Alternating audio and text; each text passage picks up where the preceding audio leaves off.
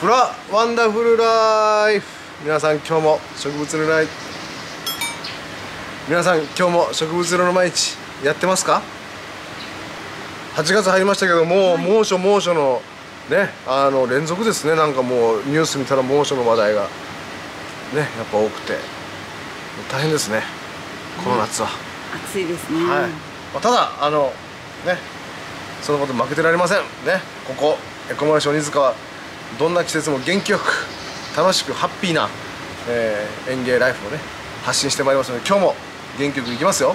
はい。なので我々もそうですけど、えー夏はね早朝とか夕方とかやっぱり、えー少しでも涼しい時間を選んで、えー園芸ガーデニングするなりまあねアクティブな行動っていうのはそこでしましょうね。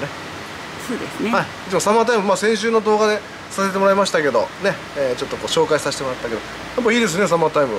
いいですよ。皆さん、はい。ゆっくりお買い物されてます。そうですね。まあだから昼間だからじゃあ涼しいかというとねその完全に涼しいっていうかね寒いとかってわけじゃないけどやっぱり全然違うよね。違います。ね昼間はもううだるような暑さですから。夕方からはねそれでもね気持ちよく見れるんで。でこうなんて植物で出すマイナスマイナスイオン。そうですね。ね、こう浴びながらねこう最後の一日の最後にこう植物をゆっくり見てゆっくりお財布からお金を出してお買い物して。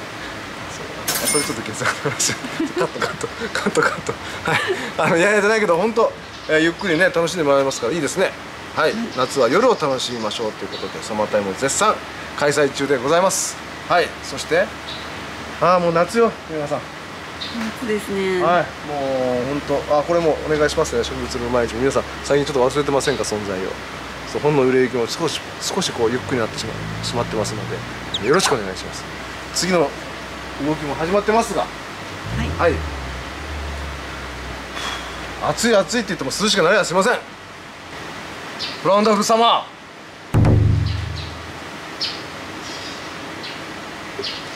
ー。はい、この暑い夏でも、みこさん、あの、僕は結構感心してるんですけど。はい。あのもう何かというと人も植物も強いなっていうことです。でいろいろ分かったすごかったじゃないですか。あのすごい豪雨からのすごいモーションだった。極端な両極端な感じになってるんですよ。で分かったことの一番大きなことってとにかく梅雨って雨が長く降ることがいかんのじゃなくてそれじゃなくてそれ排水力はできるんだよ。ではなくてやっぱり日照不足になるのが一番悪かった。日照不足になるところで花を花をつけるように株を大きくしてると弱ってた。株をちっちゃくしといて花に一番日光のエネルギーが欲しい花にエネルギーを生かせないようにしてたら持ってその後どんなモーションになってもずっと晴れでしょ。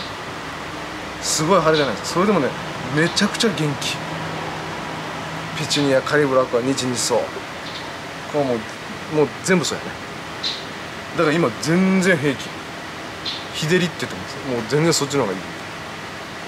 どのまあ結構夏花はもうそんな感じです。ペンタスにしても。だから要はえー今からどんなに暑くても夏の花はそれよりか暑いやろうって日陰にしてるよりはもう日向に出してうわっとこれ。日照。とにかく浴びせる全然いいですね。これよくわかりました。ちょっとは感心して何でしてリアクションして。はい。一生懸命聞いてたんです聞いてたの？はい。はい。俺も暑いとよ。あなのでいやほんとすごく分かってるものすごいモリモリしてるでしょ？あの寄せ植えそうですね。で影に置いてる寄せ植えって悪いんですよ、なんか間延びしちゃってましたね。で花つきも悪いでしょ、うん。株もなんか暑いかな思ってなんかこう引っ込めてたっていうか養生してるとほんと悪い。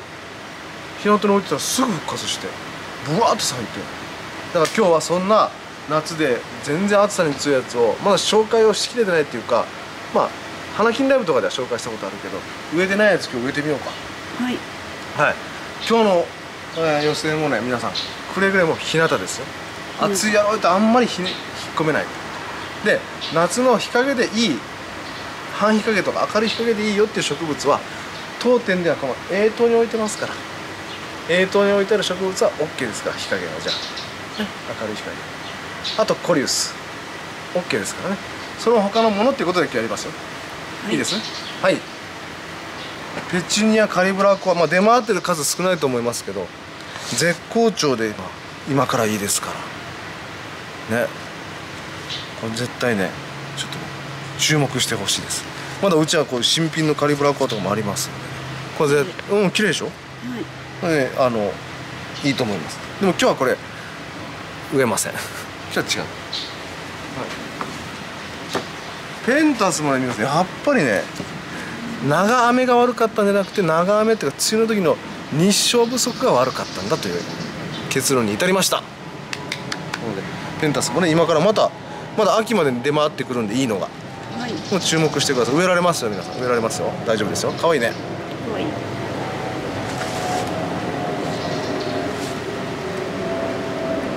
でねペンタスはスタークラスターとかこういうエキナセアのグリーンジュエルみたいな全然大丈夫ね。これも日日陰に置いてはダメですね。日陰に置く方がダメ。そして角虎のいいね。いいね。日々走塁もいいよ。ペンタスタークラスターもいいよ。で今日はね幹を使いたいんで。日日草の幹日日草も大丈夫ですねやっぱりね。日日草の場合は雨が長いっていうのもいかんけどやっぱり一番はでも日照です。日照ね。日当たりがいいか悪いか日の時間が長いか短いかこれが影響すると思います。ということで美香さんこれね他にもあります。アルテルナンテルなんか今からいいよね。いいですうよね。ん。そうそうこんなのもね全然今から全然いいと思いますよ。でも今日はねちょっともうシンプルに夏なんで結構この暑さに植えれるよっていうのがテーマなんで。この暑さでも安心して扱えるのはこのテラコッタ。テラコッタいいねはい。それとさっき紹介したガクトラのうん。そして夏の暑さが大好きなカラーリーフという洋酒小判の木。ね洋酒小判の木。いいですね。寒いの苦手ですからね。日々その幹とか。幹幹使ったりペンタスはねペンタス。こちらも紹介はしたけど植えてなかった。ねペンタスのブルー。ブルーいってみようか。ほら涼しげ。涼しげですね。涼しげ。そうね。そしてね涼しげなところにね。はい。お前ちょっと場違いじゃねえの？いやいやそんなことね俺らだって活躍するぜ。はい。サンブリティニアスカーレット。真っ赤な、は真っ赤でしょ。ちょっと悪そうでしょ。ワイルドだろ？そして最近ね改めて俺ね魅力になんか最近よく使うようになったしいい植物だなと改めて思ってます。はい。フィカスのプミラ。これを最後このねじめにこうカラーリーフとして使っていこうじゃないですか。これでどうですか？い、はい、これ収まんじゃないの？これ。今日24センチぐらいだった。直径お24センチ。24センチ24センチこれ24センチのお皿。ほいほいほいほい。皆さん暑くて植えないよって声はね聞こえてます届いてます分かってます。でもこれしかできないんです僕には。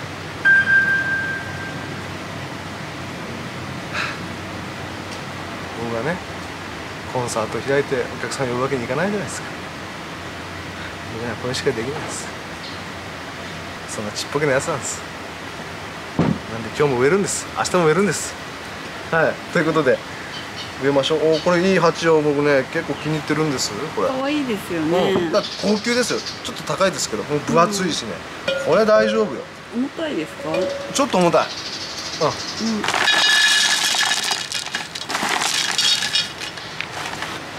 はい角虎のヒソステギアフィソステフィソフィソステギア。ね角虎の美香さんも思いましたね。何が角か言ってたじゃないですか。はい。はい。いいです夏強くてやっぱり。バッチリと思います。出根しますしね。来年も大丈夫。これはい。根を切るのはちょっとやめときましょう。ほぐす程度で。ほぐすのも手でね、えー手荒くほぐすんじゃなくてほどく感じ。ほどく感じを夏はより丁寧にねしてあげてください。ねえーテラコッタがいいのをもう一回説明しますよ。鉢の中の温度が上がりにくい上がったり下がったりしづらいっていうのがね、えーテラコッタは空気を通しますので。ね。気温急激な気温上昇も抑えられますからね。そう。だからねテラコッタはなるべく利用ねしてもらいたいな。まああのこれからね先夏が涼しくなっていくってことは考えられないんでまああの重さだけでね判断するんではなくてどうしてもっていうところはやっぱテラコッタを利用してあの少しでも夏対策暑さ対策っていうのはしてください、ね。はい、洋子板の木こちらもうあの暑いのはいいですけどね寒いのはダメなんで、えーで光がしっかり当たるとまたいいいい色がね色づきますんで。ちょっと今白っぽくなってないですけどえ軸が赤くて。新芽のこう風が白く入ったりピンクっぽくなるんですね。あれ綺麗ですよね。ちょっとまだ今この色が出てない感じはしますけど。いやーしかし最近はねどうですか？甲子園もどうですか？暑すぎやしませんか？ね高校生も元気とはいえね鍛えてるとはいえなんかね危険になるとよくなくないですか、昼間はね外で歩かないでって言って言ってるけど、まあ、スポーツ日頃からしてる人は OK なのかっていう問題出てくるよね。なんか。異常な暑さの中やるとあの本来のねプレーもできないんじゃないかなとかね。そんなこと心配しちゃいますけどね、ナイターでいいんじゃないの？ダメかな？って言って。これペンタスのミルキーウェイ。これブルーブルーのねペンタスがあるっていうことで人気なんですけどまあいろいろ色はあるんですけどこの中からねあのブルーが特に人気なんでいいですね。ブルーって言っても真っ青じゃないですけどまあライトブルーというかラベンダー色っぽい感じね。そうですね。人気ありますね。はい。この色単品で販売してる感じですもんね。他のとは別で販売してる感じ。いい。好き。株も立派ですね。ペンタスもやっぱりあのー長めで溶けたのもあるけどやっぱり日当たりガンガンがやっぱ好きなんだなと改めて感じさせられました。非常に素敵です。強いです。だからあのよく考えてペンタスがこの夏でちょっと傷んだっていう方もねあの暑さではない。んで暑さに弱かったじゃなくて多分梅雨の頃じゃないですか。なので日照不足と、まあ、水はけが悪いところでずーっと水があったということだと思いますので水はけよくして日当たりがああ足締めてあ日当たりガンガンでえー、っとあと日当たりガンガンで。です。はい。あれです。この足元もお真ん中。真ん中。どう？前後ろ。見たよこれ。はい。前後ろ見たよこうですか？いいですね。涼しげ。涼しげ？おっしゃ。お世辞にも涼しげな顔してないからね。葉っぱもちょっといつもの普通のやつよりちょっと大きいでしょ？大きいしちょっとクリーンとなったりするとこあるんですよね。ただねこのね幹はね生産者さんのところまで行ってきました。ただねやっぱり、まあ、おすすめされてましたけどやっぱり丈夫で暑さ強いんですけど一番見てほしいのはやっぱり今植えておいて秋口がもうめちゃくちゃ最後に最後綺麗になるんで見てほしいっていうことでした。で性質上強い枝がどうしてもねポンっていくんですって。でこのあんまりこうなんだろうバランス悪くドーンっていってしまった強い枝があったらそれはちょっと切って切り戻ししたりしてこの3本4本ぐらいこうねあの分かるかな？34本ぐらいこう均等に立ってるのが形がいいやつみたいな。これ選んでもらって。どうしてもねあの枝でよって優劣がちょっと出るような性質はあるみたいですでもそれはかえって丈夫な植物っていう証拠ですからね。悪いとこじゃありません。でこの開きかけのここれね幹はね特にねこう回りながら開くんですよ。渦巻き状に、それがまたね魅力なんですけどこの開きかけの状態がいいですね。この中のチラチラ見える中の芯の赤が。いいんじゃないですか。あのすごいねもうそれこそ日当たりガンガンの暑いねハウスの中で元気にね育ててました。元気よく育ってました。おすすめでございます。これも下の根っこはね、えー土を少し払うぐらいで根は切らない。この程度でいいです。根をいじくり回さない。いいですか？はい。お向きを見てくださいよ。おごめんなさいよ。はい。ここに入れちゃいます。ごめんなさいよ。はい。広島行ってきたんですよね。僕ね。マツダスタジアムね。これ言っちゃったらね。余談が多いっていうね。いやなんか多くなるかいやそもそも余談が少ないとは一言も言ってません余談が多いんです。それが鬼チャンネルなんです。ね。だから言ってますようにただなので皆さんもうあのもうちょっと合わないなということであれば見ないでください。はい。ていうか僕ね平和公園の近く行ってきたんですよね。だからあの平和記念式典の準備しててねあすごい人が携わってるんだなって思いました。あ早朝からなんかもう設営してたりね。あのお水やりをしている花壇にお水やりをしてるおじちゃんとかいろんな人がこうその日を迎えるにあたって準備をされてるんだ。暑い中ね。すごい感銘を受けました。綺麗ですもんね公園。公園がすごく綺麗です。整備されてます、それはね昨日今日の話じゃないんです。もうずーっとしてるんです。なんかね鎮魂の思いとともにっていうかね。よかったですね。で松田スタジアムはね本当に暑かったんですよ。真っ赤でした。真っ赤。僕も真っ赤。残念ながら負けちゃったんですけどね。初めてでした。僕見に行って負けたのはね。でも翌日勝ってくれたんで。まあね。でもいいいい試合を見させてもらいました。久しぶりでした。あの声出しも OK でしょ？応援も。はい。いや盛り上がってましたよ。うん。で声出し OK とともにねね。何が声出しがあったかというこれ広島名物。おじさんファンのやじ。これがね面白かったね。ストライクだけ振れよ。そのおじちゃんがの途中から僕はもう注目の的だって僕からして。ああいうヤジとかも復活して広島らしいなと。ね広島市民球場の頃からの伝統ですけどね。はい。サンブリテリア行きましたよ、サンブリテリア前回言いましたけどあのパッと咲いてちょっと休んでの繰り返しなんで。でもこれもずーっと日当たりいいとこ置いとってください。連続開花します。で花掃除は大変だったらもうそのまましてください。新しい花を追い越させるっていうのでやってもいいですからね。はい。どう？もうほぼほぼ。ほぼほぼ。あとはねこれがねやっぱいい味出すんですよ。ナチュラル感もあるし。ちょっとプミラのね、えーサニーホワイトっていうかこっちの方は不入りでね。ちょっと涼しげなホワイト系なんで。これも。はいポット外れこれ割割ってみます？ちょっとね。こうひとひとまとまりにあったのを少しこう分けるか、ね、横広にして、ね、でこのまんま。どうですか？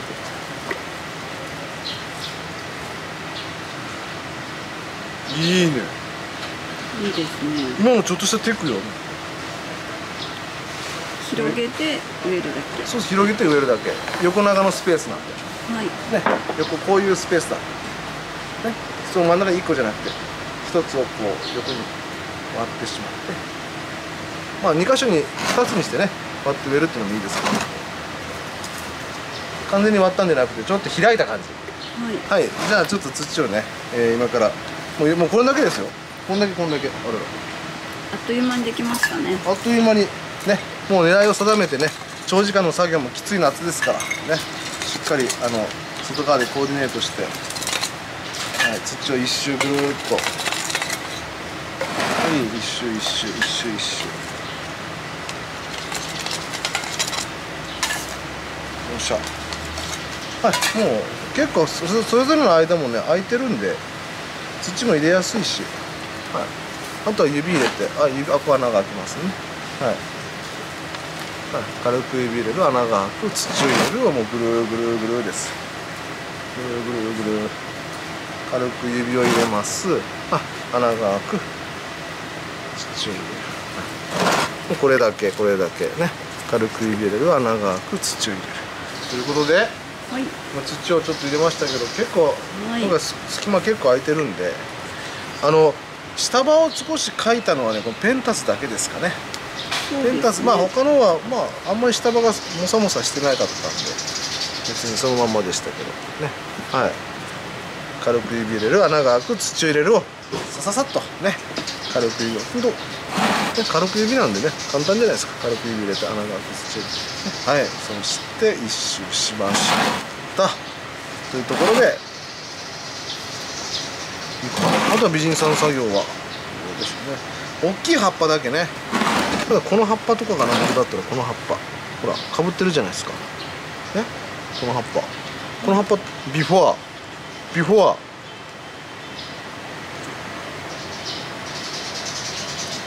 アフター。ほら。すっきり。ちょっとない方がいいでしょ？はい。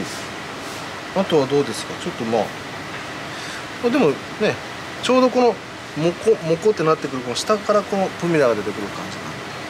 あとは大体美人さん作業大丈夫かな。まあ必ず一回触ってあげてくださいね、はい、はい、大丈夫と思います。あっさりと。ジョン。完成です。はい。夏は諦めませんよ。まだまだまだ夏もいいもんですよ。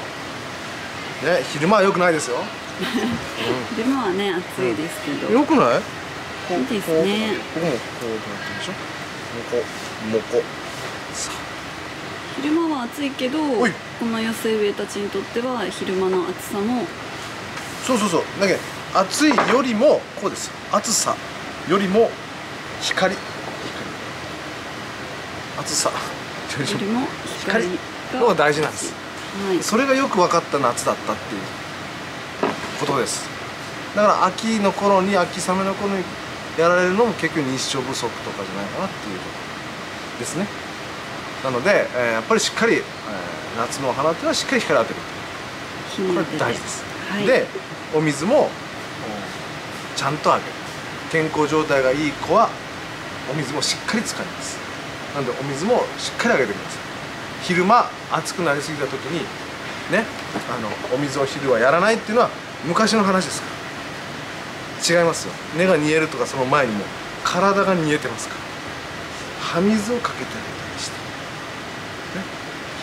これ絶対効果あります。植物も一緒人間も一緒あんまり熱くなりすぎてる表面っていうのは一回ちょっとね水で冷やすとね全然心持ちも違うし植物だって秋持ちになってなると思うんで。うまくその利用しながら、えーしっかり朝水をやる。昼は暑い時は葉水をこうしてあげる。体を冷やして。